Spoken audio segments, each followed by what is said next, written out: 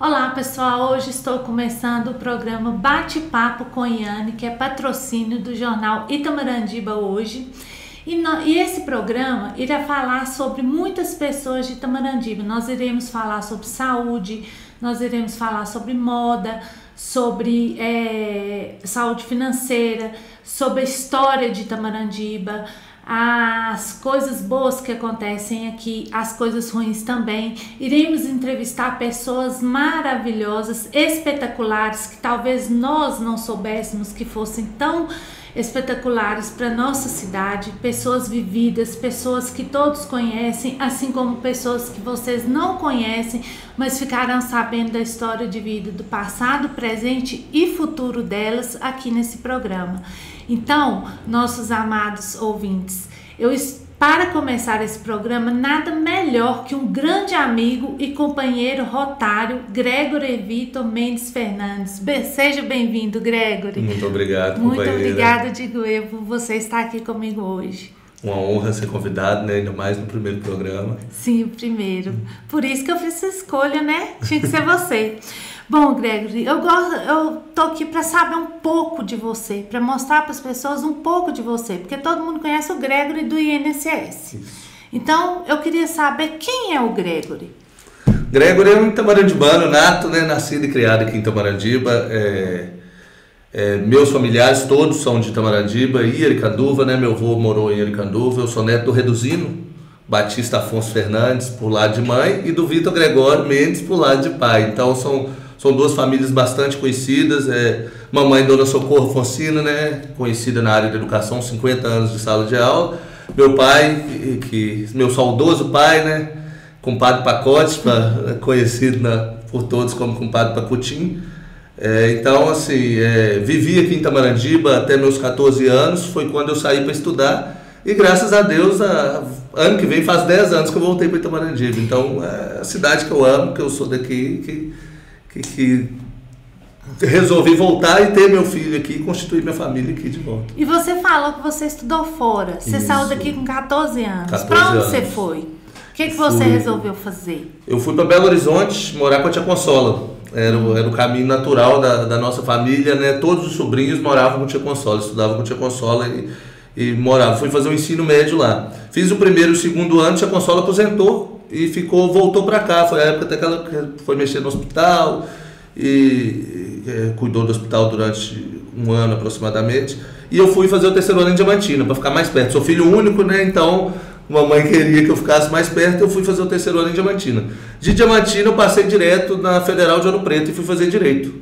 Estudei, fiz direito na Federal de Ouro Preto, formei, comecei a estudar para concurso, mas surgiu uma proposta de emprego em Mariana, trabalhei em Mariana uh, em 2012 e depois fui estudar para concurso, que foi quando eu, eu vim parar aqui novamente em Brasil. Mas assim, você queria fazer só o concurso do INSS ou você tinha pretensão de fazer outros concursos ou queria atuar na área como advogado? Como que foi é, essa escolha Meu caso é curioso, Yane, porque eu resolvi fazer direito sem nunca ter o intuito de advogar. Na verdade, depois de mais velho, que eu cogito talvez advogar futuramente, mais, mais velho, não hoje. Mas a, eu entrei no curso para fazer concurso. Eu tinha é, a experiência de, de, de, alguns primos concursados, de alguns conhecidos, amigos concursados. Tinha a experiência do, do próprio Wanderson, né, uhum. que, era, é, que é fiscal da Receita, que era um concurso muito bom, que eu morei com ele um tempo quando eu fui para BH, então eu entrei para fazer concurso. Né? E o INSS surgiu como uma oportunidade de um concurso na minha cidade. Então foi por isso que eu, que eu resolvi fazer o INSS, para tentar. Fiz o concurso em 2012, que foi o primeiro quando inaugurou a agência.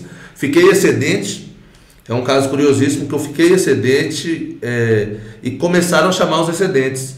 Então, falta, eu era o quarto excedente e o concurso faltava três semanas para vencer. Não sei se você sabe desse caso, esse caso é curioso. Não.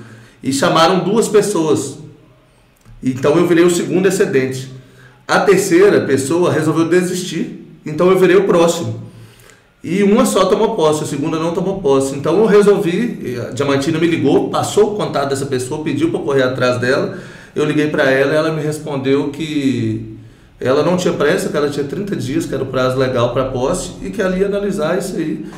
E ao final dos 30 dias ela não tomou posse, o concurso venceu eu não pude ser chamado e a vaga ficou vaga. Então, só no outro concurso que teve pelo INSS que eu fui lá, labutei tudo de novo e aí passei e entrei. Aí você veio pra cá, foi porque você fez o concurso pra cá mesmo ou foi sorte? Foi. Esse primeiro, a vaga era para Itamarandiba, só Itamarandiba. Esse segundo não tinha vaga local, tinha vaga regional. Então tinha vaga para nossa região, que era Diamantina, mas com, com a subdivisão de três vagas para Guanhães e uma para Itamarandiba. Então eu fiz, eu fiquei em segundo, o primeiro escolheu Guanhães, eu escolhi Itamarandiba e, e Nossa, então deu tudo certo. Deu É, tudo Você certo. realizou seu sonho. Graças e qual cargo que você ocupa lá, Gregor? O meu concurso, ele é o único concurso, a única vaga que tem para Itamarandiba é de técnico do Seguro Social, que é nível médio. Provavelmente vai virar nível superior a partir do próximo concurso. É, um, é uma reivindicação nossa enquanto categoria. É, todos os técnicos do Seguro Social hoje de Itamarandiba têm nível superior. Quase todos os técnicos do Seguro Social que eu conheço têm nível superior. Então não tem por que manter o nível médio. Né? Então vai ver, eu sou técnico de Seguro Social, é o meu cargo de entrada e entrei em maio de 2017. Em, em- no final de 2017 mesmo, já fui convidado a ser gerente de agência. Né? Somos poucos servidores. É, é, o Edivandro, que é o, o gerente da agência que quando fundou aqui, ele, ele saiu da gerência, começou a advogar, então não tinha mais interesse de ser gerente. Ele foi convidado, ele não aceitou, me indicou. Eu assumi a gerência no, no início do meu estágio probatório ainda e estou lá até hoje como gerente da agência de Itamandiba. Ai, que ótimo, é muito bom. Eu sei que é muito bom você estar lá como gerente. Sim. Eu sei disso, viu, gente? Porque eu uso muito o INSS. E agora, assim, falando um pouco de você, da sua vida pessoal. Você é casado, todo mundo sabe, com a Sim. Dani, né? Isso. E assim, vocês se conheceram aqui ou vocês já se conheciam? Não, nós conhecemos Ouro Preto. Ah, Nós nos conhecemos em Ouro Preto. A Dani é de Ubá, né? Inclusive eu busquei longe, né? Que Ubá, é, passando por dentro ali no caminho de Goiânia, você vai até Santa Maria de Itabira, que é o caminho mais curto para Ubá hoje, são quase 600 quilômetros de uma estrada só de curva, de, de- então é longe. Mas nós nos conhecemos em Ouro Preto. A Dani entrou no meu último ano de curso. Então eu estava para sair, eu brinquei, eu atrasei um pouquinho meu curso, que eu cheguei muito novo em Ouro Preto, né? Então eu, eu, eu atrasei um pouco meu curso e esse atraso foi bom que eu conheci a Dani, então eu conheci a Dani no, no meu último ano de curso e é, aproximei dela mais durante o meu período trabalhando em Mariana, porque Mariana e Ouro Preto são colados, né? Então eu ia para Ouro Preto muito. E, mas começamos a namorar mesmo no último ano de curso dela. Que aí começamos a namorar em 2015, oficialmente namorar em 2015 e, em 2018 ela veio para cá, para Itamaradiba. Aí tire- tiveram Rafael. E eu queria te fazer uma pergunta muito assim, importante, que já me fizeram. Sim. Como você se sente? Você se sente realizado como pai? Como, como que é ser pai para você? Oi, Anne, é, é indescritível para mim ser pai, sabe? Eu, eu sempre gostei muito de criança, sempre eu tenho um xodózinho com o Tiaguinho da Sabrina, por exemplo, que é um, né, demais, sou muito próximo dele. Mas o- eu sempre tive a vontade de ser pai, era uma, uma decisão. A Dani, quando veio para cá, é, a gente falava que ia esperar, né, firmar a vida profissional para ter filhos, mas o Rafinha veio. eh, Eu não falo que, que foi programado, porque a gente não decidiu, ah, a Dani vai engravidar nesse momento da vida dela. Mas também a gente não estava usando método contraceptivo nenhum, então, assim, é, foi um, né, a melhor coisa da vida, né? Gente, é, não tem nem como falar. Eu sou apaixonado demais. Rafinha é um menino muito especial. Ele é muito carinhoso, muito, é a melhor coisa do mundo. Eu já estou pressionando a Dani tá de Dil, eu estou brincando que ela tem que tirar o Dil esse ano ainda para a gente fazer um irmãozinho para ele, sabe? Mas é, é a melhor coisa da vida. Não tem coisa que se compara à sensação de ser pai. Não Melhor tem- coisa do mundo. É a melhor coisa do mundo, A gente dúvida. se realiza em tudo, parece que vem, tampa tudo, né? Exatamente. Realiza todas as nossas áreas. Eu, eu normalmente, nos meus momentos que eu estou mais cansado, mais estressado ali, né, que a rotina pega, eu gosto de ir pro quarto dele, sentar no, no, no quarto dele e começar a brincar com ele. Eu fico horas se deixar lá, nós dois brincando, que não tem coisa melhor não. Inclusive, eu brinco, né, que ele é um rotariano mini, um mini rotariano. E nós vamos mudar de assunto e nós vamos um pouco agora sabe, é, falar do Rotary. Gente, o Gregory, ele é presidente do Rotary Clube de Itamarandiba, ano rotário 2023-2024. Então, eu gostaria muito de saber, do fundo do seu coração, como foi, o que você sentiu quando você foi convidado a participar do Rotary. Oi, Yane, o, a vinda do Rotary, a ideia da criação, né, da fundação do Rotary para Itamarandiba, eu acho ela espetacular. Eu sou, eu sempre fui fã do Rotary, é, não conhecia a fundo como funcionava o Rotary, porque eu já tive amigos rotaractianos, né, mas nunca tive amigos rotarianos, até pela questão etária, o Rotary, é, enquanto mais novo, o pessoal do Rotary é mais velho, é, mas quando eu recebi né, o convite do, do, do Gabira, que chamou, falou que estava na intenção, que precisava juntar o pessoal, e eu fiquei assim, extremamente lisonjeado e aceitei de bate-pronto. Não, não falei, vou pensar, nem, nem, falei, nem falei com ele, vou conversar com a Dani para ver o que, é que a gente vai fazer. Eu aceitei de bate-pronto e, e, fui pesquisar sobre o Rotary, né? Descobri alguns amigos rotarianos fora daqui, interessante. Pais de amigos, descobri muitos. É, e, e acho espetacular o potencial que o Rotary tem de trazer o bem para a comunidade. Então é isso que me fez querer entrar para o Rotary, é essa, essa possibilidade de juntar um grupo de pessoas para fazer o bem. Certo. É, é isso que é a nossa função, é, né, companheiro? Exatamente. Mas eu queria que você explicasse para os nossos ouvintes um pouquinho do que é o Rotary. Porque eu tenho assim, é, muitas pessoas falam assim comigo, Guiana, o que, que é o Rotary? Rotary faz o quê? O Rotary está aqui para quê? Então a gente tem que passar para eles o que é o Rotary e você, como presidente, eu gostaria que você falasse um pouquinho da sua, da, da sua de você, o que você sente que é o Rotary. Sim. É, essa pergunta é muito comum, né? Nós escutamos ela demais. Várias pessoas viram para a gente o que é o Rotary. É, ela não tem, uma, é, é, não tem como responder isso de uma, de uma frase, igual às vezes a pessoa quer que a gente responda isso de uma frase. Basicamente, o que é o Rotary? O Rotary é uma associação de projetos humanitários. Uma associação. O que, que seria projetos humanitários? É uma associação internacional, presente em mais de 200 países, né, fundada nos Estados Unidos há cento e. Vou falhar a memória 18. aqui, 117, 118 118. anos. Acho que é. é acredito que seja. Está é, tá entre 110 e 120, uhum. eu não vou precisar aqui não. Mas é, que tem como objetivo a paz e o desenvolvimento como um todo, em várias áreas, na educação, na saúde, no econômico. Então, o Rotary é uma associação de pessoas para desenvolver projetos voltados para a comunidade né, em que se encontra e a nível nacional e internacional. Tanto é que projetos nossos do Rotary Clube de Tamarandiba podem ser financiados pelo Rotary Distrital, que é a subdivisão nossa maior, né? Que engloba uma boa parte de Minas Gerais, e pelo Rotary Internacional também. Então, é, basicamente é isso: é uma associação de pessoas que querem se juntar para fazer projetos para a comunidade. Certo. E você, como rotariano, o que você sente sendo um rotariano? Mudou alguma coisa para você a partir do momento que você falou assim: bom, hoje eu sou um rotariano, hoje eu tenho que trabalhar para conseguir alguma coisa. Eu estou no Rotary, eu tenho minhas responsabilidades para ajudar a população. O que, que você sente? Como você sente isso?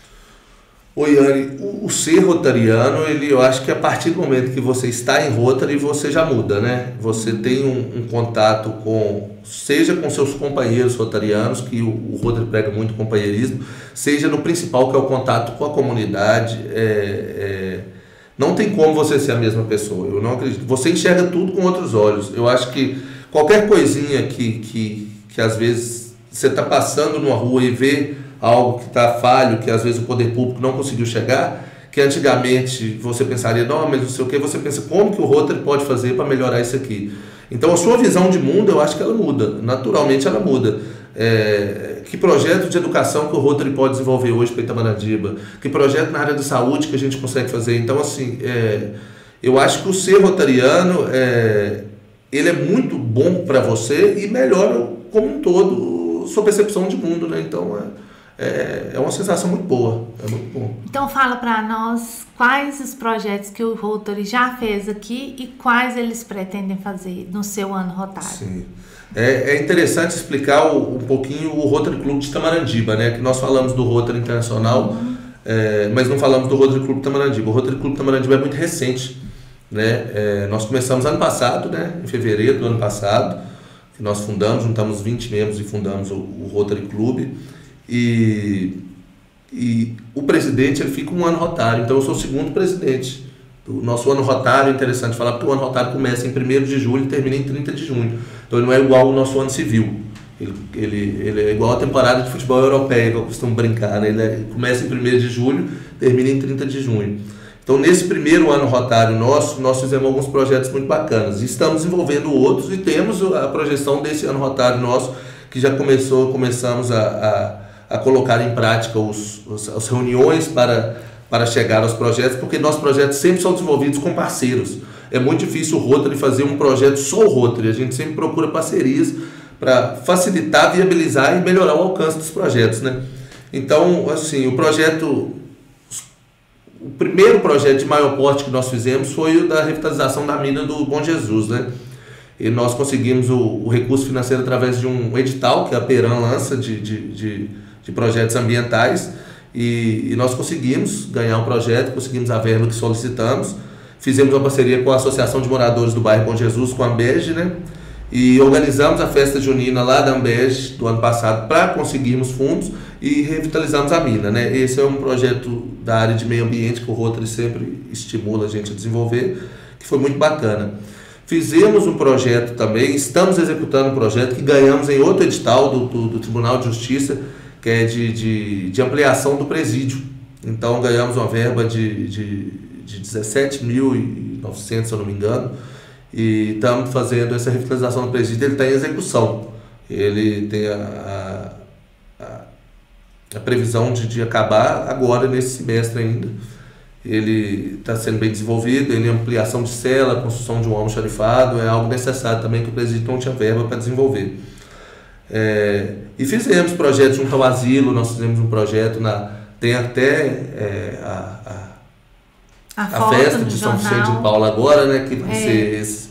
Então vai estar tá fazendo um ano que nós fizemos esse projeto do asilo, que, que foi uma doação de toalhas eh, industriais para o asilo que estava na falta delas, né? Nós doamos cerca de três toalhas por acolhido, então foi assim, é, um, toalhas de uma ótima marca, fizemos um investimento muito, muito grande.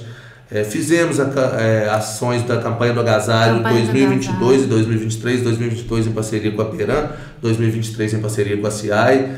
No primeiro ano, nossa, nosso foco foi doação de cobertores, né? doamos cerca de 700 cobertores em Itamanandiba, um número assim, extremamente expressivo. Mais de 2% da população da cidade foi é, recebeu nossos cobertores. É, fizemos a campanha do, do, do agasalho, agora voltada para agasalhos, foram cerca de 600 agasalhos, com foco na arrecadação, todo o dinheiro arrecadado foi para agasalhos infantis, que nós distribuímos através de parcerias com as escolas e creches municipais é, e estaduais também. E os arrecadados nós distribuímos em conjunto, foram mais de 600 agasalhos também, então foi um número muito bom. É, e temos mais alguns pequenos projetos que eu não estou recordando aqui. Tem que... o projeto do carro, né, que nós, nós participamos, ganhamos o carro para associação do, do, do, dos animais. Sim. Tem ele, que é no seu ano rotado também, você está esquecendo dele. Tem, é. Que e, a gente participou, porque eles não poderiam participar exatamente. que nós participássemos, né? É. Nós temos, nós temos. de Tamarandiba. Sim. E nós temos é, alguns projetos em desenvolvimento é, em parceria com a CIAI, nós temos um projeto que hoje não tem arrecadação de pilha e bateria em Tamarandiba, né? Desde quando o Correio tirou essa arrecadação, nós não temos mais essa arrecadação. Então, nós estamos em parceria com a CIAI tentando implementar esse projeto ainda para esse semestre. É, a gente ia começar a executar agora em agosto e adiamos o projeto da brinquedoteca no hospital. Uhum. O hospital municipal passou agora a ser fundação hospitalar, né? E essa ideia da brinquedoteca é um espaço de acolhimento para as crianças internadas, é um, né? Tivemos, né, infelizmente, essa semana a notícia do falecimento de Samuel, que, uhum. né, que a cidade é. inteira mobilizou para ajudá-lo. Então a gente sabe que criança, qualquer problema de saúde, criança internada é um corta o coração do pai, é de todo mundo, né? Então uma brinquedoteca para alegrar um pouco esse período da criança no hospital é o projeto que nós adiamos por causa da reforma, né? Que o hospital tem reforma, então tivemos que adiar um pouquinho, mas vamos executar. E temos projetos, na, em outubro vamos fazer um projeto de vacinação, né, que é no dia da polio, de combate à polio. A maior bandeira da, do Rotary Internacional é o combate à erradicação da polio. Então nós vamos fazer, enquanto Rotary Clube de Tamarandiba também uma campanha. Estamos com uma listinha de uns oito projetos, nove projetos para execução nesse ano rotário. Não vou lembrar de cabeça todos, mas temos. Inclusive, eu queria deixar aqui para o pessoal saber que essa vacina da poliomielite, ela tem um pequeno uma pequena contribuição do Rotary, ou seja, não é somente o governo que paga pela, por essa vacina, o Rotary também paga por essa vacina, porque a erradicação da poliomielite é uma das principais é, características do Rotary mundial, viu, gente? Exatamente. Então, deixar aí para o pessoal saber que muitos que contribuem, que ajudam o Rotary, o seu dinheirinho está indo também para essa vacina, junto com o governo tá bom? Deixar isso aí para vocês. É, o Rotary tem uma participação tão grande no combate à polio, né? Hum. Que quando o governo federal vai lançar a campanha de combate à poliomielite nacional, ele senta com o presidente do Rotary Brasil para discutir como Sobre funciona, como vai funcionar a estratégia de campanha e divulgação. Então, assim, o Rotary participa não só financeiramente, como né, na divulgação e nas campanhas de, de, de, de combate à poliomielite. E, onde tem vacina de poliomielite tem o dedinho do Rotary também. Tem o dedinho do então, Rotary. É... Dedinho do Rotary e dedinho de todos vocês que ajudam o Rotary também. Né, né Exatamente. Greg? Então, assim, é...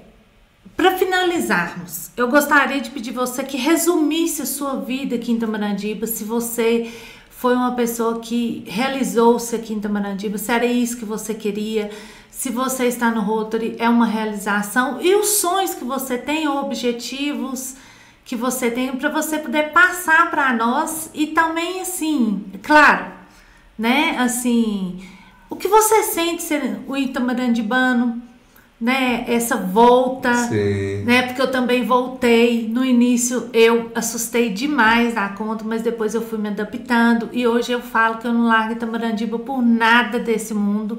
Então, assim, eu queria que você falasse um pouquinho sobre isso. Sim.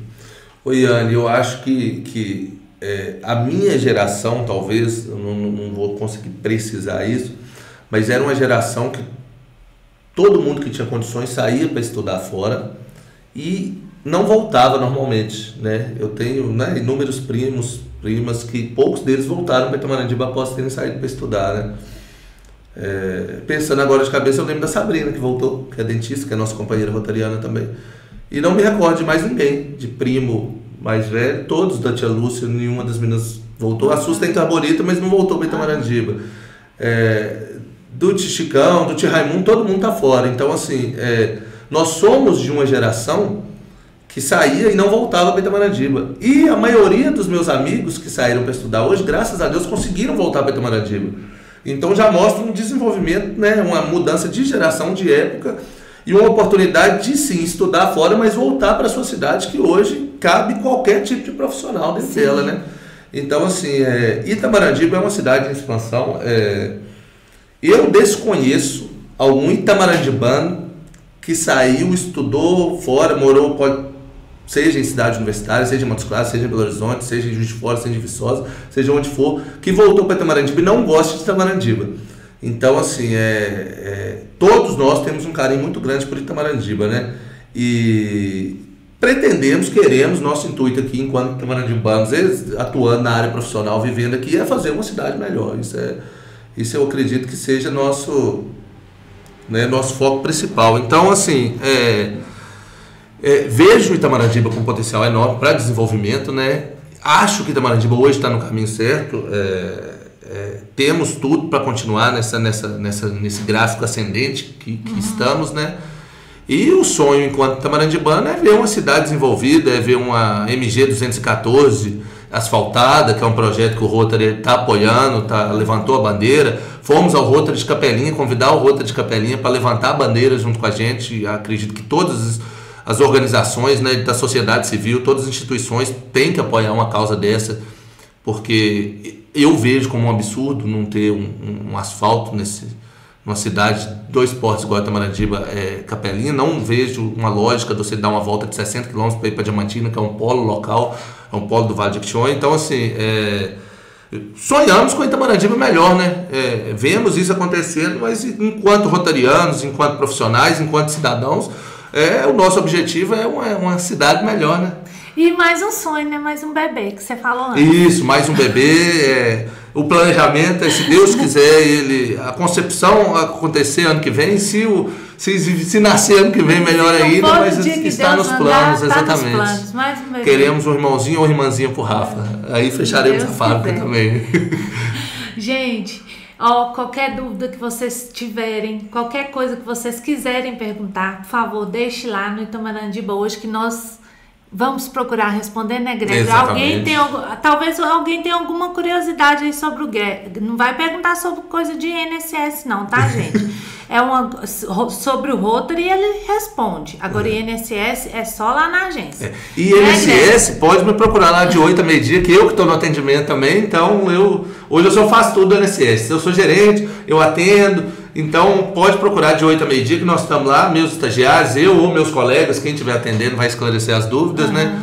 Quanto ao Rotary, a reunião nossa é aberta, então às vezes as pessoas não sabem, fica o convite. Nossas reuniões são, são realizadas às terças-feiras, às 19h15. Então nossa reunião, a porta do nosso salão, que fica lá, a sede é na rua Diamantina, né? Número 671, ele fica aberto. Então é só entrar, se quiser mandar uma mensagem para a gente avisando que vai na reunião, pode mandar, senão a reunião é aberta, quem quiser participar é interessante nos conhecer lá. Inclusive, gente, na porta do Rotary tem um símbolo, que é uma engrenagem. É um prédio, né? Nós Exatamente. estamos no segundo andar. Quem quiser participar, esteja à vontade, será muito bem recebido. Viu? E eu te agradeço muito por você estar aqui comigo nessa primeira entrevista entendeu? Nesse primeiro bate-papo comigo, não sei se é entrevista, bate-papo, podcast, o que for. Sim. Mas foi maravilhoso ter você aqui comigo. Muito obrigado pela sua participação, pelos seus esclarecimentos. Manda um abraço para a Dani, para o Rafa e para mim. Muito Viu? obrigado. Eu agradeço prazer. também o convite. Sempre ótimo bate-papo. É um bate-papo, né? Natural, uhum. é muito bom. Muito obrigado. Então, gente, boa noite. Muito obrigado vocês e estaremos aqui uma vez por mês. Se quiserem mandar sugestões de entrevista ou bate-papo, mandem para mim, por favor, para o Jornal Itamarandiba, que eles irão me passar. Muito obrigada. Boa noite.